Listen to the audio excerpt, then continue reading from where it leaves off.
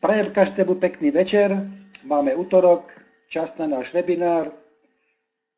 Pekne vítam všetkých prítomných. Osobitne e, vítam pani Nadeždu z e, Kijeva, pani Galenu, dokonca z Novosibírska. A máme tu aj návštevničku z Nemecka, Pavlínku. Osobitne vás vítam. Moje meno je František Solár. Budem vás dnes e, sprevádzať týmto našim webinárom. Predtým, ako sa dáme do práce, prosím vás, napíšte mi do četu, či ma počujete, či ma vidíte, dajte tam plusky, mínusky, aby som si bol istý, že nerozprávam nadarmo. Hopsa, hneď vám eh, otvoríme tento maličký dotazníček. Všetko je OK. Ďakujem pani Aneta, Pavlínka Karamanová, 3 plusky, Joško v poriadku. Prosím vás, vyplňte mi teraz na začiatok tento maličký testík, respektíve taký prieskum, koľkýkrát ste dnes na webinári, či prvýkrát, druhýkrát, tretíkrát alebo viackrát. Bol by som vám povďačný, keby ste to veľmi rýchlo vyplnili. Pre nových ľudí, ktorí sú dnes prvýkrát prihlásení, dole vľavo, dole vľavo máte chat, tuto dole podobnou a tam môžete písať, pokiaľ máte nejaké otázky. Netreba sa hambiť, kto sa pýta, ten sa aj dozvie. Dneska bol celkom pekný deň, ja som chvíľu po obede strávil v záhrade okolo bazéna, pozeral som aj rybky, či už vychádzajú na povrch, v jazere. Už som ich aj prvýkrát dnes nakrmil, takže všetko sa prebúdza. Figovník mi krásne rastie v záhrade. Pevne verím, že budem mať tiež figy ako vlaňajší rok. Celé leto sme mohli ochutnávať, boli veľmi, veľmi sladké. No, ešte, ešte chýbate na tom dotazníku, prosím, vyplňte mi ho čím skôr, aby sme mohli začať. Ja by som e, rád povedal ešte dve, tri vety e, k novým ľuďom, ktorí sa dnes pripojili. E, osobne si myslím, že ste si vybrali veľmi dobrý čas. Tento webinár, táto prezentácia, ponuka bude trvať asi jednu hodinu.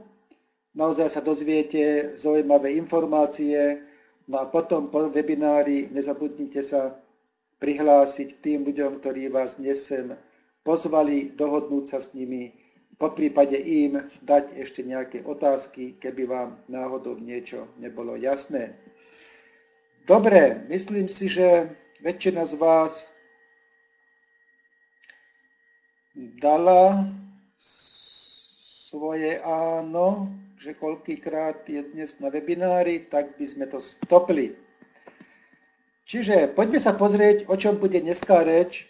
Samozrejme, ako každý útorok, každý štvrtok e, bude reč o novej generácie v doprave, v dopravnom systéme, ktorý za veľmi krátky čas ovplyvní naozaj našu budúcnosť, ovplyvní vývoj ekonomík e, v krajinách, kde sa tieto e, nové dopravné systémy, nové generácie začnú budovať.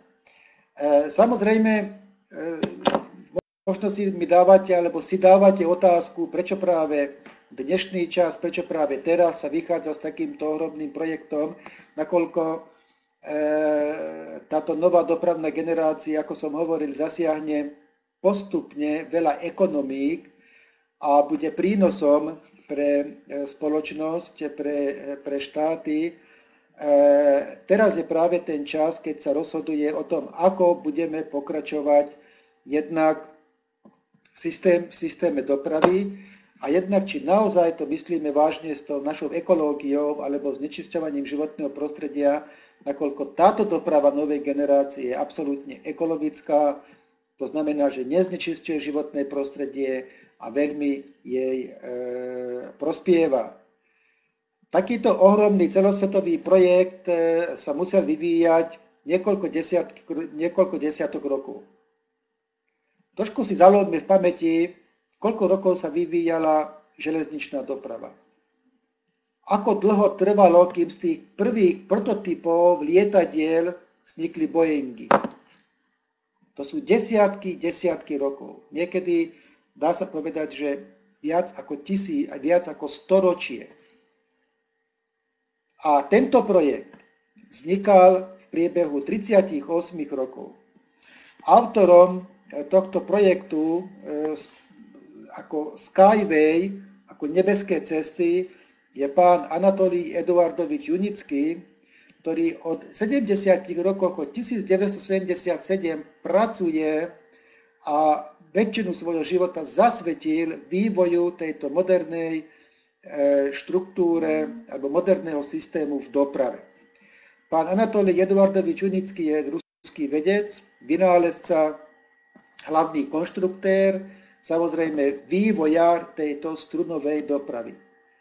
Nakoľko sa nazýva strunová, je, má vlastní samozrejme niekoľko patentov ohľadne tejto, tejto technológie a základ tejto technológie tvoria, tvoria struny, ktoré sú napnuté, uložené v tých kolejniciach. Bude ešte o tom, bude ešte o tom reč. Je to naozaj svetový unikát využitia strunovej technológie v doprave. E, má bohaté skúsenosti s riadením E, veľkých projektov, nakoľko riadil projekty v OSN, je autorom viac ako 140 vynálezov, 18 monografií, viac ako 200 vedeckých prác. A v súčasnej dobe samozrejme zastáva post generálneho rediteľa spoločnosti Skyway. Získal nespočetné množstvo ocenení, len niekoľko z tých ocenení spomeniem dve zlaté medaily Šeruského výstavného centra, e, dva zlaté vozy v nominácii Projekt roka v sektore dopravy, tri zlaté značky kvality, ruská značka. Dokonca vlastní veľmi exkluzívny titul Rytier vedy a umenia. Viac ako 30 diplomov z medzinárodných výstav, to už hádam ani, ani nemusím spomínať. Pevne verím, že na nasledujúcej veľkej výstave, ktorá sa bude konať v Berlíne v septembri tiež e, tento dopravný systém a samozrejme osobne aj pán e, Anatolí Eduardovič Unický získa ďalšie, ďalšie ocenenia. O čom bude vlastne dnes reč, som hovoril, ale z čoho sa skladá tá doprava novej generácie. Viete, takou zvláštnosťou, alebo by sa povedal, nie zvláštnosťou, ale prednosťou tohto projektu alebo tohto dopravného systému je to, že pokrýva celú škálu dopravy. To znamená osobnú dopravu, nákladnú dopravu, vysokorýchlostnú dopravu a samozrejme aj takú turisticko-výletnú dopravu, kde sa budú využívať e, unibajky, unibike, taký uni bicykle, kde si budeme môcť samozrejme aj pekne zašportovať, zacvičiť, popri tom popozerať okolo krásnu prírodu. No poďme sa pozrieť trošku bližšie k tým jednotlivým odvetviam doprave a začnem s tou mestskou dopravou. V mestskej doprave sa budú využívať unibusy, budú sa samozrejme pohybovať v meste, zvážať cestujúcich z predmestí, z letiska a budú e, sa prevádzkovať e, tieto systémy aj medzi mestami. Rýchlosť tohto dopravného systému je okolo 150 km za hodinu. Kapacita takého jedného unibusu je do 100 osôb na vzdialenosť, ktorú budú prekonávať zhruba takých do 200 km. Čiže naozaj ideálny systém pre mestskú dopravu a zvláštnosťou týchto všetkých dopravných systémov je to, že je vydvihnutá na druhú úroveň nad zemou.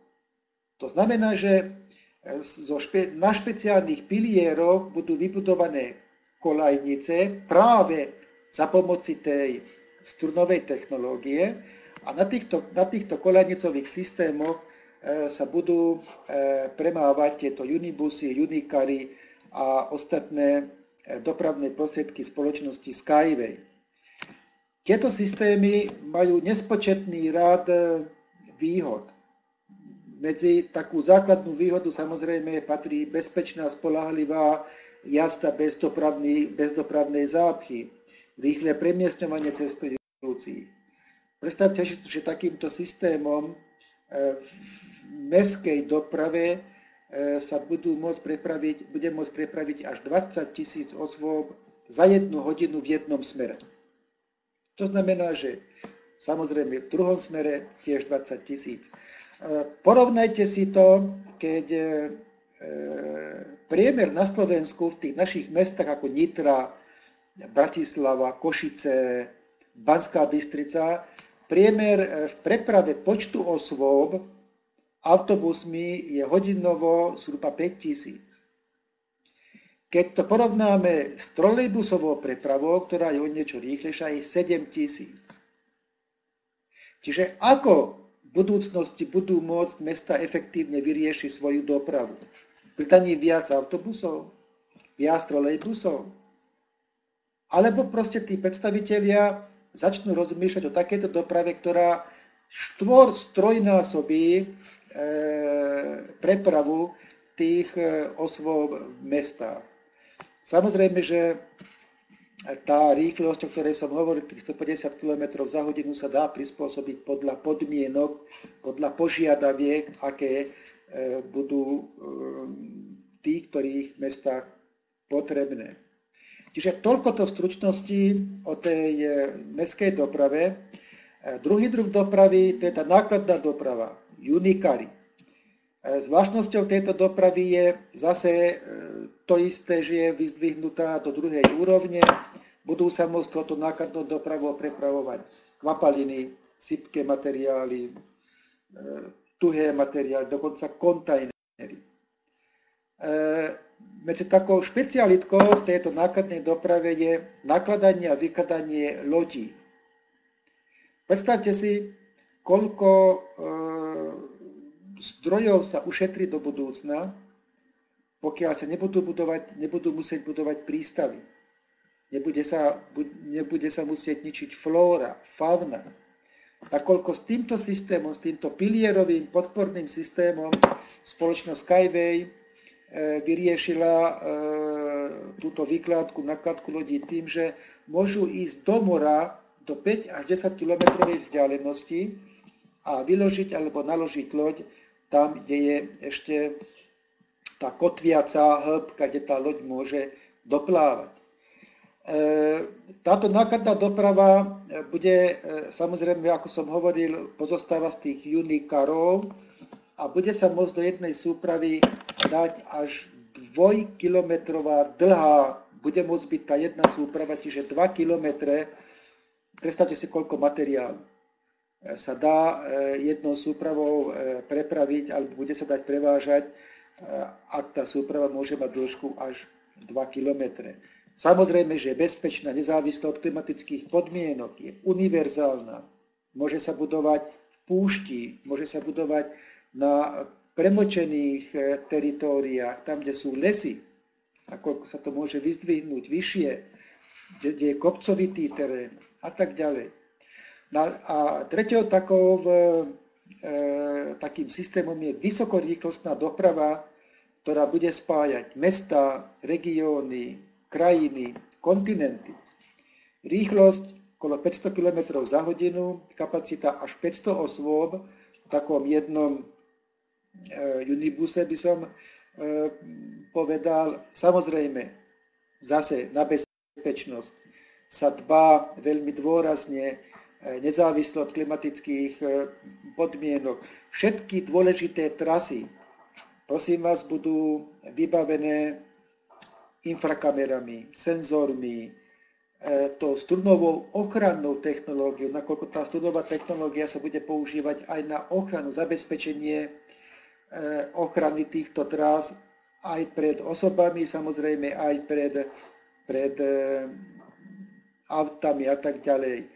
Dokonca takáto, takýto zabezpečovací systém zadrží teleso o hmotnosti 100 tón. To znamená, že k blízkosti týchto trás sa nebudú môcť dostať žiadne nejaké dopravné prostriedky a už nehovorím o ľuďoch, nakoľko je tam vyvinutý systém na takú šokovú terapiu. Čiže e, dve veľké prednosti. Životné prostredie sa nebude znečisťovať týmto systémom a bezpečnosť. Medzi tie ostatné výhody samozrejme patria aj tie sociálne výhody, nakoľko momentálne je prepočítaná cena stupenky alebo cena toho lístku, eh, jedna hodina jazdy vychádza na 8 dolárov. Predstavte si, v Prahe sadnite do tejto vysokorýchlostnej súpravy, budete v plnom pohodlí, budete si môcť pozerať televíziu, budete si môcť počúvať hudbu, pripojiť sa na internet, na Transnet, to je nový e, systém internetového e, pripojenia. Za hodinu, za hodinu 10 vystúpite v Poprade a môžete si ísť do Vysokých Tatier zaližovať. Za 8 dolárov. Čiže aj tá, ten sociálny aspekt, samozrejme aj tým, že e, tento projekt ponúka do blízkej budúcnosti E, veľmi veľa pracovných príležitostí. A keď ľudia budú mať prácu, budú zarábať e, peniaze, štát bude kooperovať na tom, spoločnosti, ktoré budú kooperovať, čiže zase aj príjem, samozrejme, v podobe daní aj do štátneho rozpočtu. No a už nehovorím o tom o zlepšení kvality života obyvateľstva tým, že budú mať kultúrnejšie cestovanie, a samozrejme aj do budúcna zamestnanosť, nakoľko tieto systémy tiež budú potrebovať obsluhy, budú potrebovať kvalifikovanú pracovnú silu na kontrolu jednak zabezpečovacích systémov, riadiacich systémov, nakoľko e, riadenie týchto, týchto dopravných systémov bude cez satelit, bude plne, plne automatické. Medzi tie ekologické výhody samozrejme patrí, ako som už hovoril, e, veľmi ako sa hovorí, že friendly, priateľský systém životnému prostrediu, e, žiadne e, nejaké násypy, výkopy, žiadne prekážky pre migráciu zvierat a tak ďalej, žiadne prekážky na pohyb pozemných vôd. Tieto systémy budú odolné voči vetru do sile vetra až 250 km za hodinu, odolné voči zemetraseniu, až na, do 10. stupňa alebo 10. škály Richterovej stupnice a do výšky 10 metrov odolné aj vlnám tsunami alebo záplave. Pán Unický hovorí, že tento systém bude prevádzkovať až dovtedy, kým korajnice nebudú zahlutené vodou. Pohon týchto dopravných systémov, solárny pohon na elektriku, čiže budú mať vlastné batérie na uskladnenie elektrického prúdu, no a budú spotrebovať 100 gramov plus minus 1 deciliter ekologického paliva na 100 km a na jednu, jednu osobu. Samozrejme žiadne výfukové plyny, nebudú sa potrebovať nejaké rozmrazovače, soli v zime, soliť a tak ďalej. No a, veľmi veľký prínos to bude mať aj z toho hľadiska, že sa nebudú spotrebovávať pneumatiky. Je to veľký ekologický problém, nakoľko len na Slovensku vzniká každý rok 20 tisíc tón opotrebovaných pneumatík. Táto doprava novej generácie, keď sa porovnávala s tou klasickou dopravou, so železničnou, s dopravou po diálniciach a samozrejme s leteckou, tak e, v porovnaní ohľadne bezpečnosti naozaj tento systém spoločnosti Skyway nemá konkurenciu, nakoľko je 10 tisíckrát bezpečnejší ako e, tá klasická doprava na diálniciach. 113 krát bezpečnejší ako železničná doprava a 3000 krát bezpečnejší ako letecká doprava. Čiže bude to veľká konkurencia? Ja si myslím, že áno, lebo to ovplyvní naozaj každý druh súčasnej dopravy. No a už asi aj nemusím hovoriť, koľko ľudských životov dokážeme týmto novým dopravným systémom eh, zachrániť, nakoľko ročne na našich cestách zomiera zhruba 1,3 milióna ľudí v dôsledku dopravných nehôd. Takže naozaj bezpečnosť, ekologický systém, bezpečný, ekologický, humánny systém, ktorý v budúcnosti reálne bude zachraňovať ľudské životy. No a z hľadiska tej kooperácie alebo z tej hľadiska z tej perspektívy rozvoja technológií Skyway, táto technológia naozaj ovplyvní aj, aj iné e, odvetvia nášho hospodárstva, či už to bude e, samozrejme tá, tá dopravná infraštruktúra, o ktorej hovoríme, infraštruktúra nehnuteľností, idú sa budovať ekologické také tie líniové mestečka, kde naozaj sa budú projektovať nové typy budov, aj medzi týmito budovami bude vytvorený tento do, dopravný systém, čiže úplná zmena v architektúre, v dizajne budov a tak ďalej. Nové náhradné diely, čiže ďalší e, e, nejaký taký, také odvetvie národného hospodárstva, spustu firie bude kooperovať. Ja som videl dneska po obede video, kde ukazovali závody, ktoré už teraz vyrábajú komponenty pre výstavbu e, ocelové nosníky, železobetónové nosníky a tak ďalej. Nakoľko spoločnosť e, Skyway vyvinula nový druh betónu pre tieto, pre tieto nosné železobetónové konštrukcie. Toto bude mať všetko vplyv E, v krátkej budúcnosti, ako som hovoril, na viacerú odvetví v národnom hospodárstve. No a nenadarmo sa hovorí, že táto šiesta technologická úroveň je to nová ekonomická evolúcia sveta.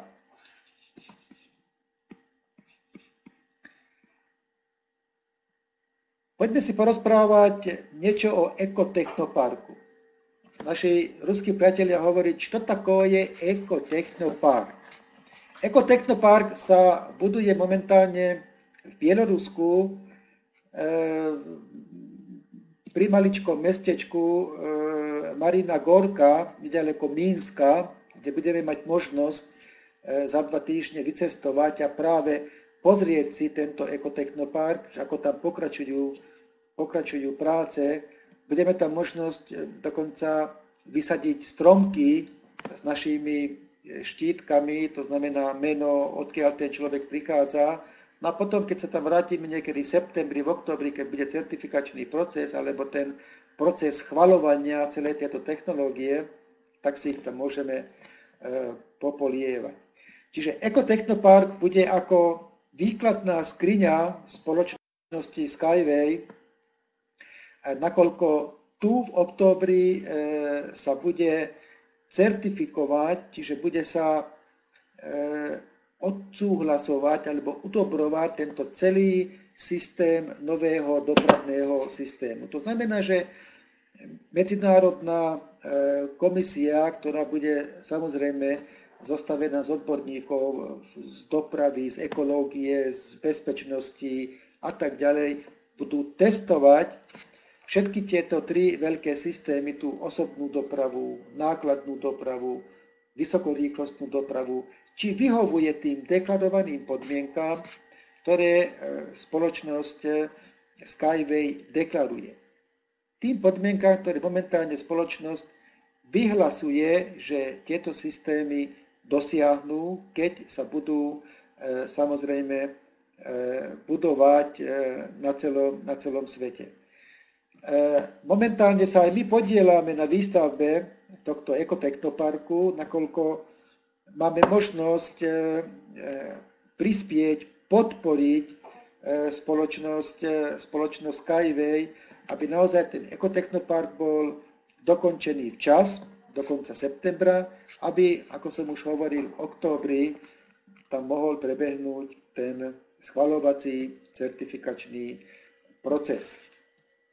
Nebudem vám dnes ukazovať video, nakoľko ešte nemám e, celkom preverené, že či tie videá naozaj e, tu budú fungovať. Chlapci mi na tom ešte pracujú, takže potom, potom na budúce. O toľko budeme mať viac e, času na otázky na konci webinára. Ja tu čítam, že nie je spojenie Je nejaký problém? Prosím vás, dajte mi vedieť do čatu, do čatu, či ma počujete, vidíte, ako to je s tým spojením. Vyzerá tak, že ostatní, ostatní majú spojenie. Už vše OK. Dobre, Pavlínka.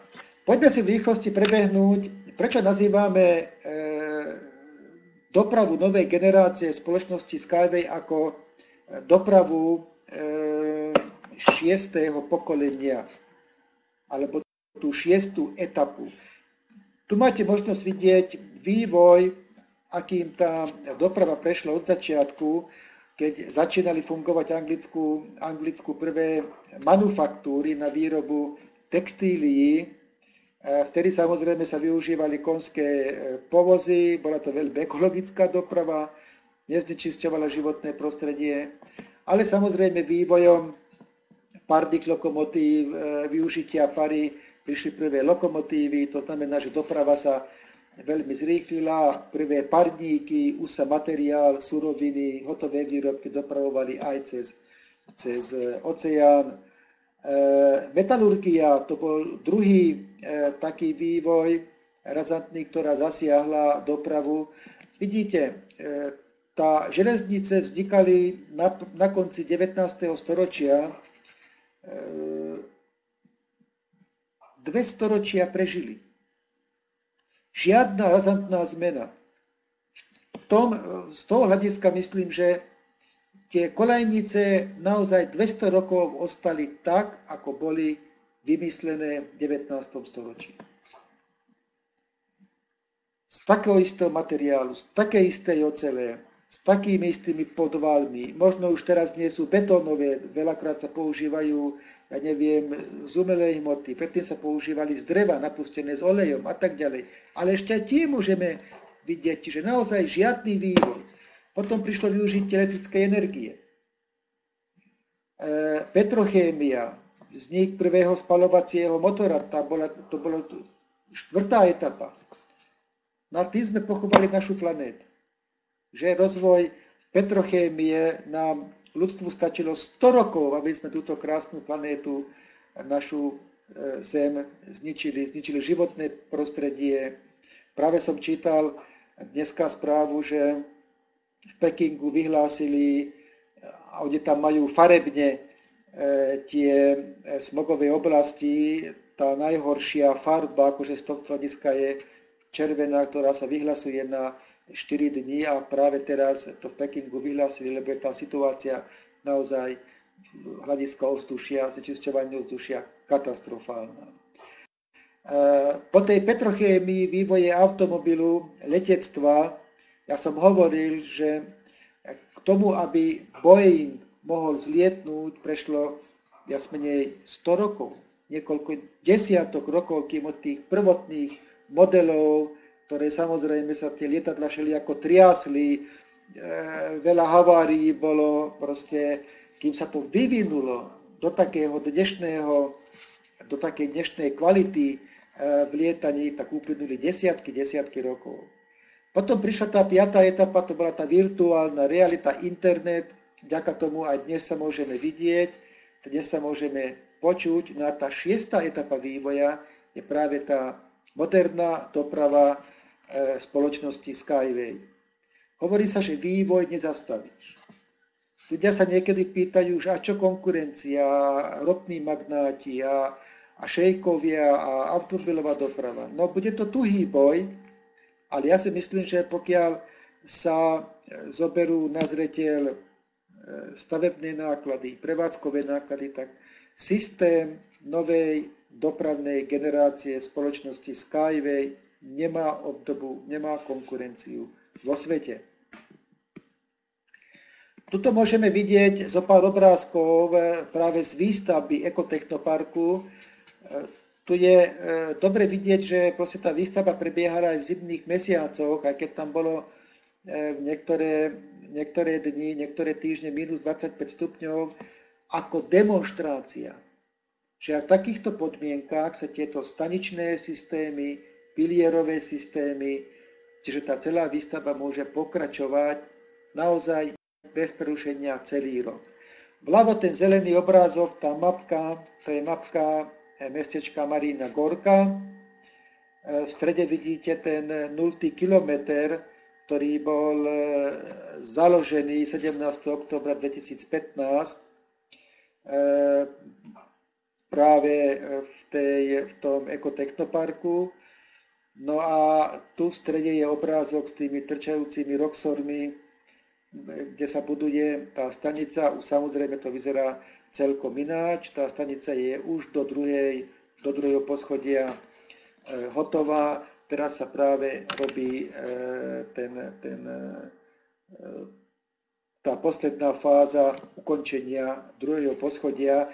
Tá stanica bude slúžiť aj ako múzeum, tá dolná časť bude slúžiť ako múzeum a tá vrchná časť samozrejme bude slúžiť aj ako také taký malý ekologický, ekologický park, naozaj vnútri aj okolo tých, tých, tých e, balkónov bude veľmi, veľmi veľa zelene, no a z vrchu budú prichádzať a odchádzať tie, tie súpravy.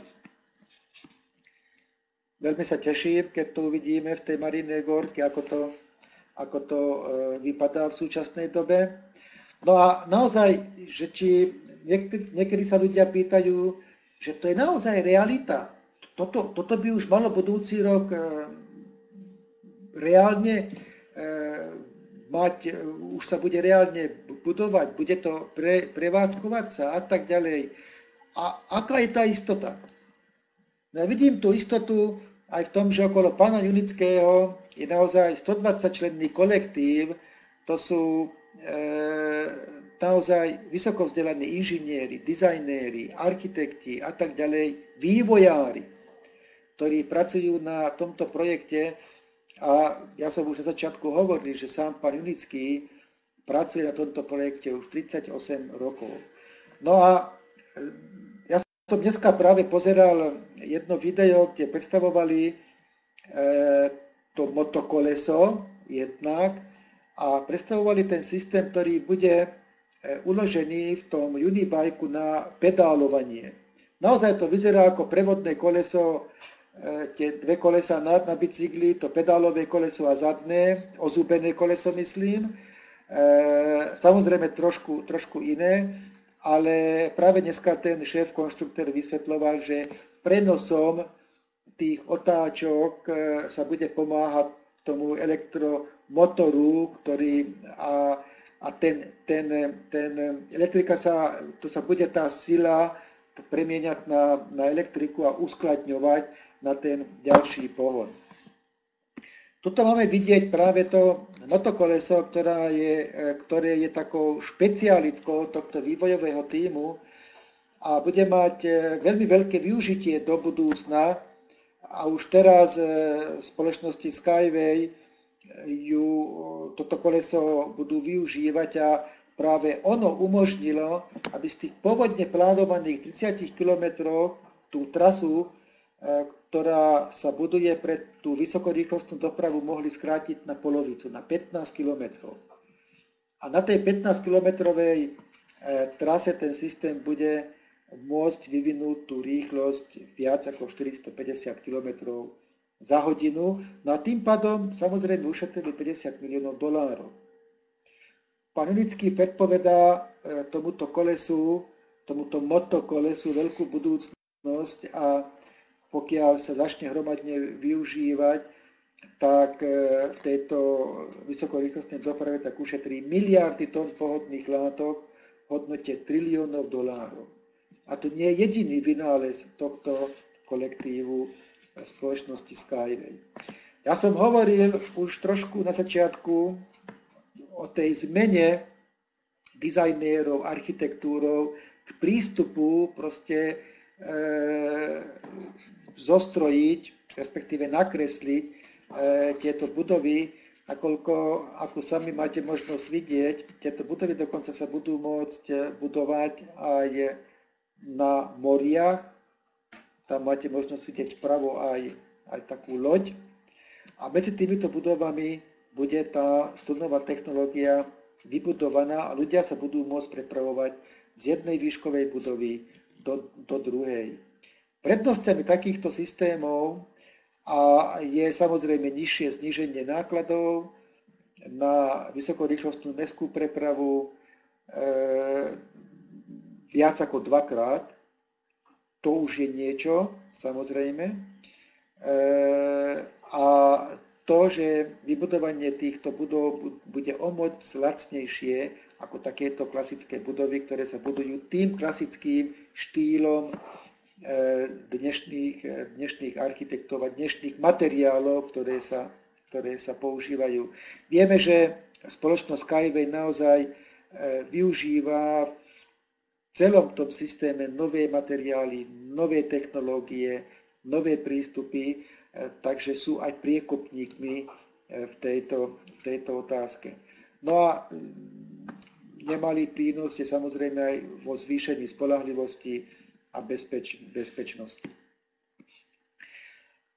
Veľa projektov je už momentálne hotových, ktoré čakajú na implementáciu práve e, po tom čase, keď sa ukončí ten schvalovací proces, tá certifikácia. Tu máte možnosť vidieť napríklad projekt v Petrohrade, kde e, tento projekt spoločnosti Skyway spojí letisko Púlkovo a zastávku metra, metra e, Kupčino. E, ďalší projekt, ktorý je podpísaný, je to líniové mestečko Skyway v Abu Dhabi. Ako som už spomenul, takéto mestečka naozaj sa môžu budovať aj v púšti, aj na zavodnených miestach, na neprístupných plochách pre výstavbu, v ťažkom teréne a samozrejme aj na mori. E, výhody sú nízke náklady na výstavbu, nízke prevádzkové náklady, čo je veľmi, veľmi dôležité a taký rozhodujúci faktor e, do budúcna. Veľkým prínosom je aj minimálna úprava e, terénu, plná automatizácia, využitie obnoviteľných zdrojov energie a tak ďalej a tak ďalej. Samozrejme úspora času a finančných prostriedkov. Tento projekt bude vyzerať takto, ako ju máte možnosť vidieť vpravo. Vľavo je prichystaná tá pôda, ten, ten, ten ostrov, ktorý potom bude prepojený e, s pevninou. Momentálne máte možnosť vidieť, že je tam len jeden most, tak v strede vidieť e, ten most ale e, po dobudovaní tohto líniového mestečka tých prepojení bude len tuto 2, 4, 6 vidím, kde budú premávať proste tie, tie e, unibusy e, z jednej strany na druhú aj priečne a z jedného miesta na druhé. Čo si myslíte tým šejkom, ktorí to budú financovať? Aký čas bude potrebný na vybudovanie? Takéhoto líniového mestečka. Možno dva roky a bude to plne fungovať. Tam sa stavia veľmi, veľmi rýchlo. A takýchto projektov, ktoré sú e, podpísané, kde sú predobjednávky urobené, napríklad v Rusku e, som mal možnosť vidieť, každé väčšie mesto má rozpracovaný svoj projekt spoločnosti Skyway ako využiť túto technológiu mestskej dopravy. Každé väčšie mesto. Samozrejme zasieťovaná bude aj Európa, taká hlavná trasa má viesť Barcelona, Berlín, Londýn bude pripojený Moskva a neskôr, neskôr e, sa napojí aj, aj Tokio. E, druhý veľký projekt, ktorý je veľmi spätý s touto technológiou, je projekt 21. storočia pre Rusko, osídlenie e, ďalekého východu. A tam ľudia budú budovať líniové mesta, budú budovať tento dopravný systém, vybudujú si pre seba domy, 100% ekologické, ekologické spolunažívanie. No a e, samozrejme dostanú od ruskej vlády 1 hektár zeme, jeden hektár pôdy na člena rodiny. To znamená, keď sa tam odsťahuje rodina s dvomi deťmi, dostanú 4 hektáre pôdy a môžu na nej samozrejme robiť. Tu vidíte e, podpis e, predobjednávky alebo podpis, by som povedal, taký na, na projekt pre Austráliu. to je pán Rod Hook, bývalý minister dopravy Austrálie, kde len samotná Austrália, ak, keď pán Rod Hook presadil tento projekt cez austrálskú vládu, sa podpísala predobjednávka v hodnote viac ako 80 miliard eur. A prvá takáto výstavba bude e, okolí z letiska na tie e, krásne pláže v južnom, južný Wales sa to nazýva, tá časť, tá časť Austrálie. A už teraz podľa najnovších informácií súčasne sa bude budovať aj nákladný, nákladný systém. Takže naozaj týchto projektov je, je veľmi veľa. Veľa ľudí e, v Ruskej federácii odporúča tento, tento projekt. Na to máte možnosť vidieť podpísané predobjednávky, či už z Európskej únie, ako som spomínal, tu Austráliu, e, v Rusku, e, Bolívia, Vietnam, Spojené arabské emiráty, pribudlo Škótsko, Anglicko, India, Čína, Samozrejme tých projektov je veľmi veľa. Momentálna tá hodnota tých predobjednávok, ktoré sú e, podpísané, je viac ako 280 miliárd eur. A predstavte si, keď sa ukončí certifikačný proces, keď sa ukončí koncom tohto roka e, schvalovací proces, koľko firiem pristúpi na kooperáciu so spoločnosťou Skyway a postupne začne tento systém rozširovať po celom svete. Na budúci rok je plán vybudovať prvých 10 tisíc kilometrov. A každý nasledujúci rok zhruba 300 až 400 tisíc kilometrov týchto nebeských ciest. Takže tie plány sú veľmi smelé a je to naozaj aj reálne. Ako my môžeme ovplyvniť túto výstavbu? Ako my môžeme proste túto realitu ovplyvniť. A čo z toho môžeme mať? E, pán Junický e, vyhlásil, ešte v roku 2013 bola prvá taká väčšia konferencia v Moskve a vyhlásil tzv. crowd investment. To znamená také všeludové investovanie. E, tým pádom bežní ľudia sa mohli zúčastňovať tohto projektu, to znamená, mohli podporovať spoločnosť Skyway nákupom jeho podielov.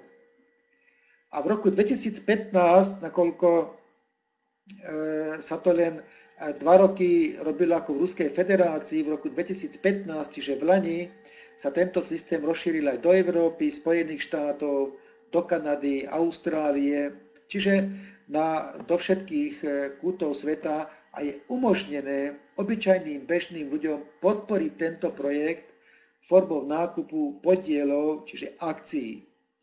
Nominálna hodnota jednej akcie spoločnosti Skype je 1 dolár.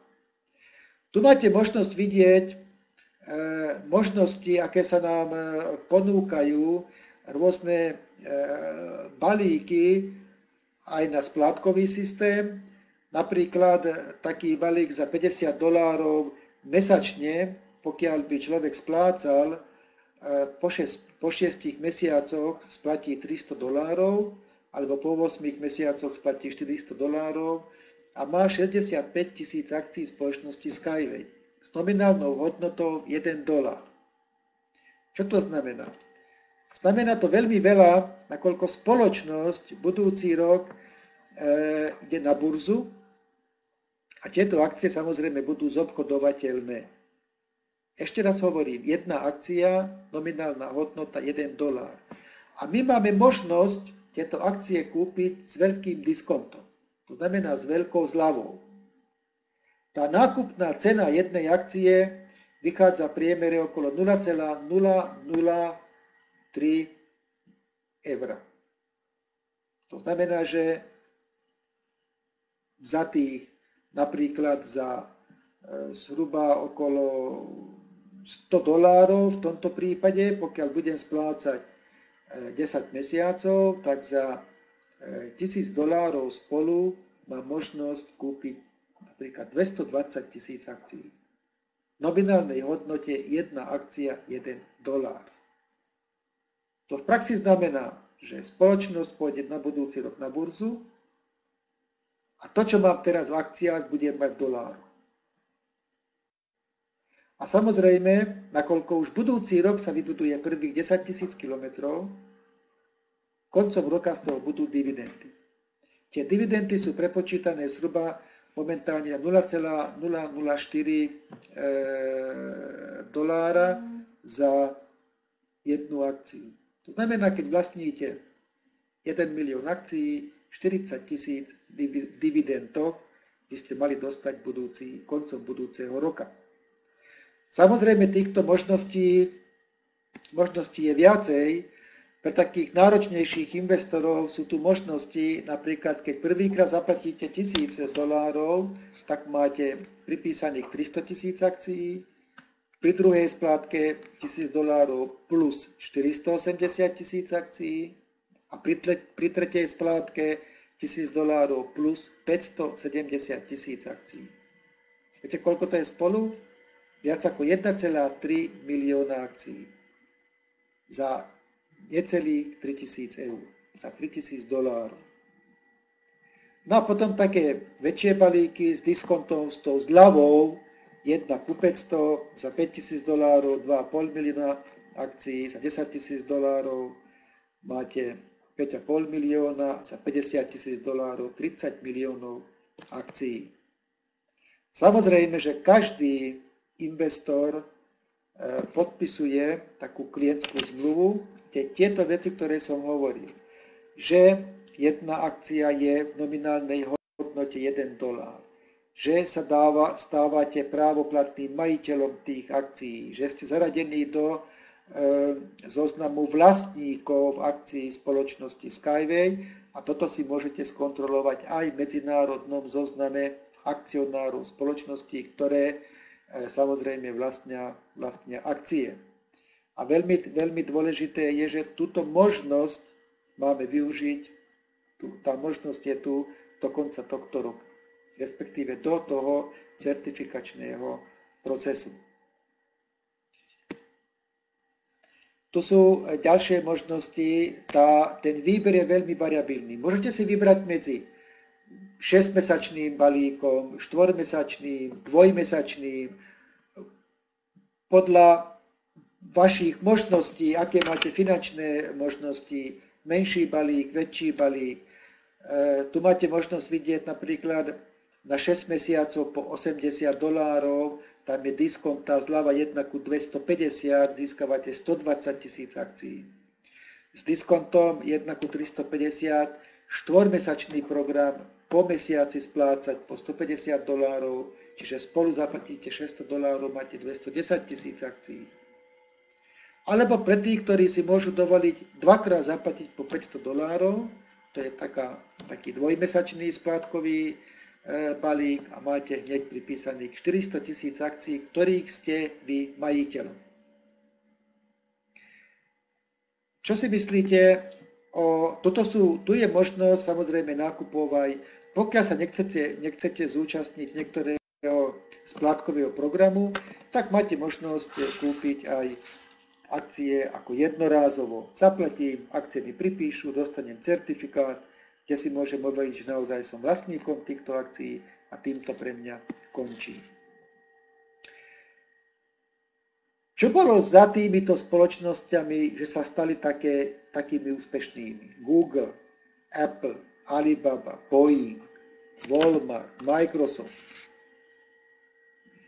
Oni tiež mali v tých začiatkoch, keď napríklad sa, alebo Facebook, Zuckerberg, keď sa, keď sa vyvíjali, keď vyvíjali tieto systémy, napríklad Google, proste oni tiež prešli tou etapou, tou kampaňou, ktorú momentálne prechádza spoločnosť Skyway.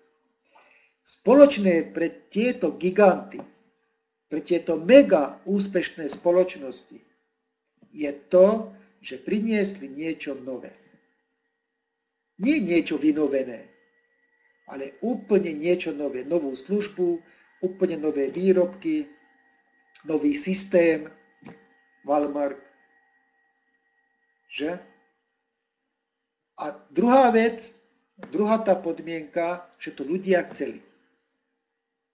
Čiže aj oni v tej kampani, tie akcie Google tiež boli v hodnote cent. Pozrite sa na Alibabu, tie investície v roku 1996, ten, tá Alibaba mala hodnotu 60 tisíc dolárov i po akciách. Takých istých ako momentálne spoločnosť Skyway. A čo sa z nej stalo? Za 18 rokov investície vo výške 100 dolárov narástli v percentuálne priemere, ani to neviem prečítať, 1 milión 782 400% mesačne. Mesačne. A my momentálne v Skyway hovoríme o ročnej kapitalizácii zhruba 1000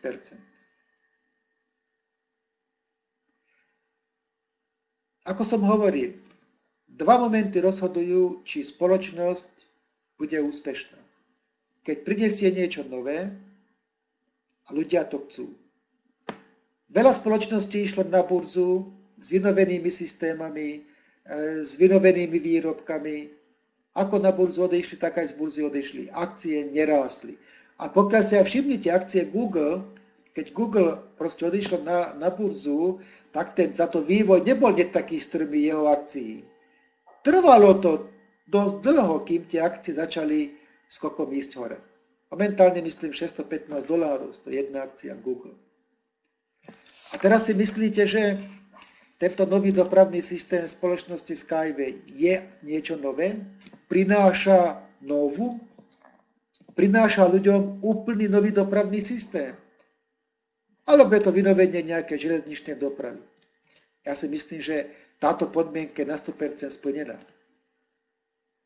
Druhá podmienka, budú to ľudia chcieť? Otázka, je o to už teraz záujem? Hovorili som o predzmluvách v hodnote viac ako 280 miliard dolárov. A čo si myslíte, aká bude situácia, keď sa ukončí certifikácia, keď sa schváli celý tento dopravný systém. Keď prídu veľké spoločnosti, ktoré budú budovať tento systém v Austrálii, Indii, Európe, v Rusku, Amerike, bude konkurencie schopný. Dva až 4 krát je lacnejšia výstavba ako výstavba diálnic. 2 až 4 krát sú nižšie prevádzkové náklady, ako sú prevádzkové náklady na železničnú dopravu, diálničnú dopravu, už nehovorím leteckej pre, preprave. Čiže konkurenčný bude. Úplne nový systém je to. Už teraz je veľký záujem. Teraz sa podpisujú predobjednávky. Pán Junický hovorí, že spoločnosť Skyway má potenciál všetky tieto spoločnosti, ktoré sú mega úspešné, predísť. To znamená, že tá perspektíva je tu ohromná. Samozrejme je na nás, na vás, či túto perspektívu využijete.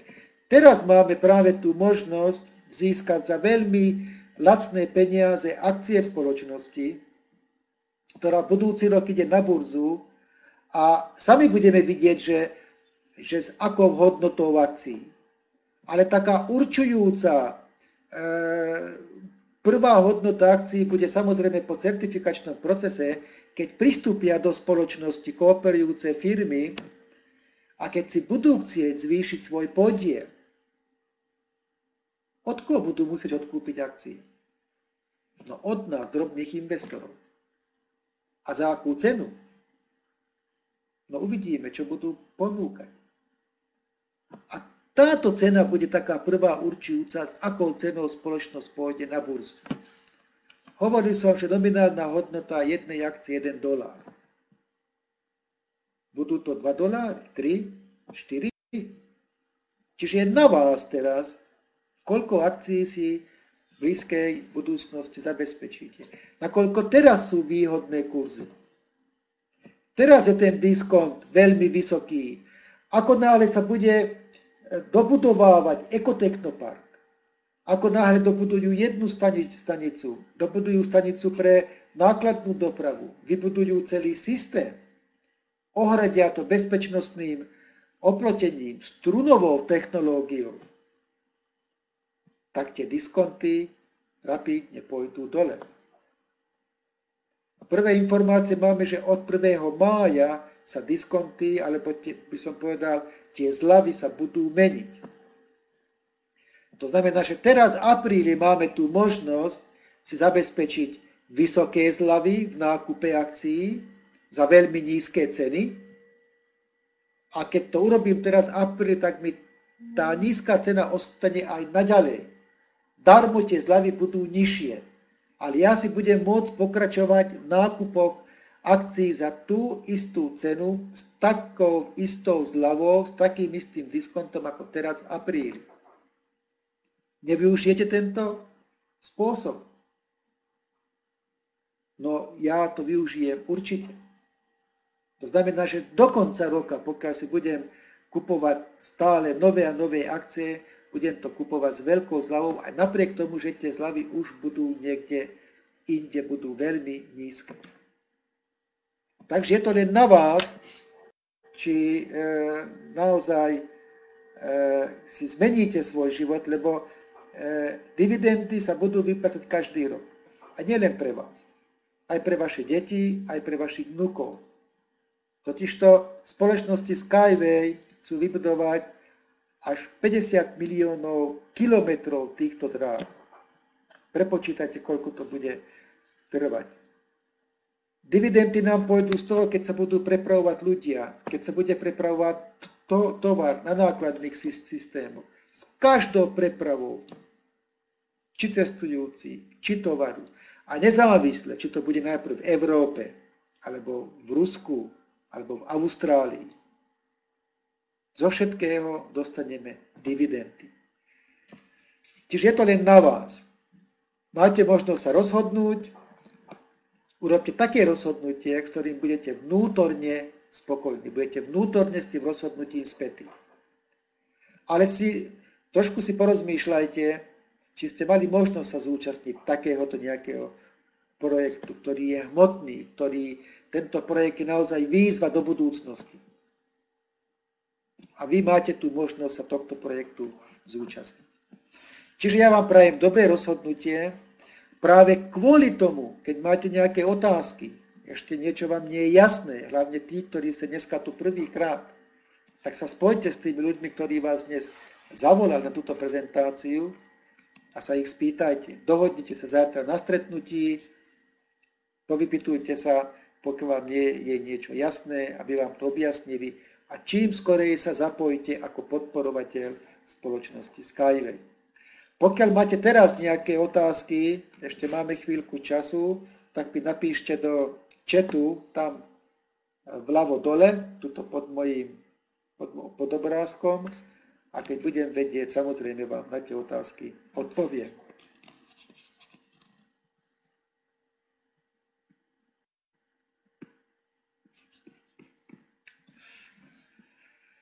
Nie sú otázky, všetko je jasné.